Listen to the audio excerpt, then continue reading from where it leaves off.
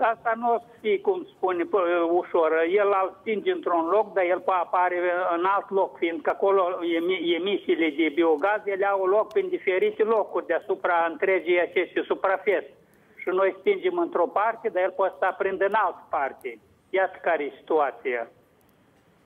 Deci este complicat. Mă întreb acum dacă uh, utilajele cu apă, domnule Bulimaga, au vreo șansă să oprească focul la țânțăreni? Sau este nevoie de o altfel de intervenție?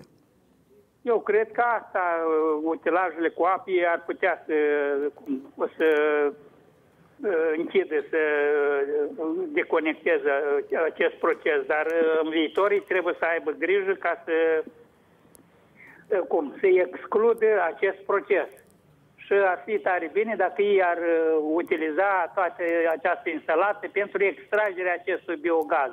Că acolo, uh, am spus, de circa 60 până la 70 de, de, 75 de procente conține metan, care, cum spune, arde și are o, un, cum o temperatură foarte înaltă la arderea lui. Da, din ceea ce spuneți, reiese că focul va mai mocni mult timp la țânțăreni. Da, da, dacă nu s-au luat măsuri cum reale, spontane, rapid, desigur că dacă l-au lăsat așa de sine stătător, el asta arde tare mult timp, pentru că noi am făcut și noi niște cercetări la Dobroja, era un poligon, tot un depozit de deșeuri.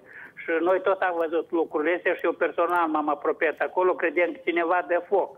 Însă în rezultat am văzut că el parcă s-a prinde de sine stătător și arde zile întregi și elimină, cum spune, aceste nouri de fum mare.